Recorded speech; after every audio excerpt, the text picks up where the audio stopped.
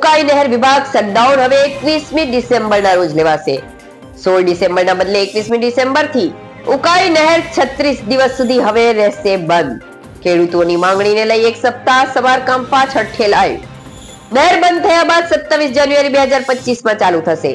અંકલેશ્વર ડિવિઝનમાં છત્રીસ દિવસ દરમિયાન બાવીસ કેનાલનું નવીનીકરણ અને સુધારા કરવામાં આવશે. ઝઘડિયાના હિંગોળિયા ગામના માર્ગ બિસ્માર અને ધૂળિયા બન્યો હોય સ્થાનિકોમાં તંત્ર સામે આક્રોશ. બિસ્માર્ગ માર્ગનો વિરોધ નોંધાવી લોકોનો વિરોધ. સ્થાનિકોએ જવાબદાર અધિકારીને બોલાવવાની કરી માંગ.